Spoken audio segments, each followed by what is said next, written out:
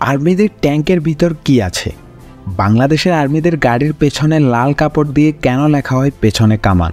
কেন এগুলো এত ভয়ানক? এই ট্যাঙ্কগুলো স্পিডে চলতে পারে কি? চাকাসহ ট্যাঙ্ক কেমন হয়? কোন দেশের কাছে সবচেয়ে বেশি শক্তিশালী ট্যাঙ্ক আছে? আজকে আপনাদের এসব প্রশ্নের উত্তর দেব। তাই পুরো ভিডিও দেখে তারপর কমেন্ট করার অনুরোধ রইল। লাইক করে জানিয়ে দিন ভিডিও দেখার অভিজ্ঞতা। শুরু করা যাক ভিডিও।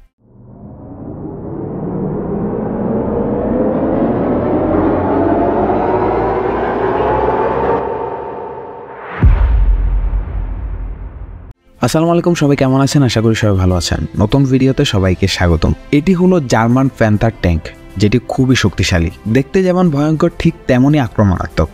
এই মেসিভ ট্যাঙ্কটি খুবই স্পিডলি চলতে পারে। এই ট্যাঙ্কটিতে টোটাল পাঁচ থেকে আটজন বসতে পারে।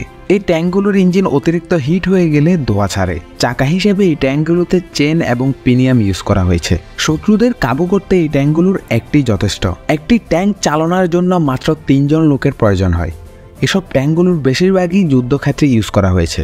জার্মান এই ট্যাঙ্কগুলো খুবই স্পিডলি চলতে পারে, যার কারণে সামনে কেউ থাকলে পিষে চলে যায়। এই ট্যাঙ্কের ব্যবহার আপনারা বিভিন্ন ধরনের মুভিতে দেখেছেন। তবে আপনি কি জানেন বিশ্বের সবচেয়ে দামি ট্যাঙ্কটি ইউএস এর কাছে আছে, যেটি কিনা প্রায় অন্য ট্যাঙ্কগুলো থেকে চল্লিশ গুণ শক্তিশালী এবং এগুলো সহজেই অনেক দূর পর্যন্ত বোমা হামলা করতে সক্ষম। বেশিরভাগ ট্যাঙ্কই ওয়াটারপ্রুফ কারণ এসব ট্যাঙ্কগুলো যে কোনো জায়গায় শত্রুকে প্রতিহত করতে পারে। কিছু কিছু ট্যাঙ্ক আছে যেগুলো দেখতে হাস্যকর, তবে এগুলোর হামলার ভয়াবহতা অনেক বেশি। এসব ট্যাঙ্কগুলো পাবলিক প্লেসে খুব একটা আনা হয় না, কারণ এগুলো খুবই ভয়ানক। বাংলাদেশে আর্মিদেরও এমন কিছু কামান রয়েছে, যেগুলো খুবই মারাত্মক ভয়াবহ হামলা করতে পারে।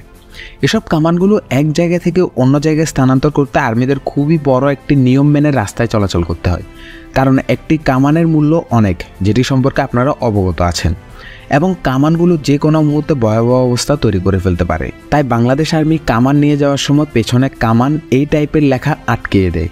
এতে করে পেছনের ড্রাইভাররা এই বিষয়ে সচেতন হয়। এটিও নাকি যুদ্ধে অনেক শত্রুকে প্রতিহত করে এসেছে। এটির সামনের অংশের চাকা এবং পেছনের অংশের চেন, যার কারণে এটিকে দেখতেই আলাদা মনে হচ্ছে। এটি দেখুন, আর্মিদের ব্যবহার করা সবচেয়ে ছোট একটা গাড়ি। তো কেমন লাগল আজকের এই শক্তিশালী ট্যাঙ্কগুলোর ভিডিও? যদি ভালো লেগে থাকে তাহলে এখনই সাবস্ক্রাইব করে ফেলুন আমাদের ইউটিউব চ্যানেলটি এবং টিকটকে দেখে থাকলে এখনই ফলো করে ফেলুন। আল্লাহ হাফেজ গুড বাই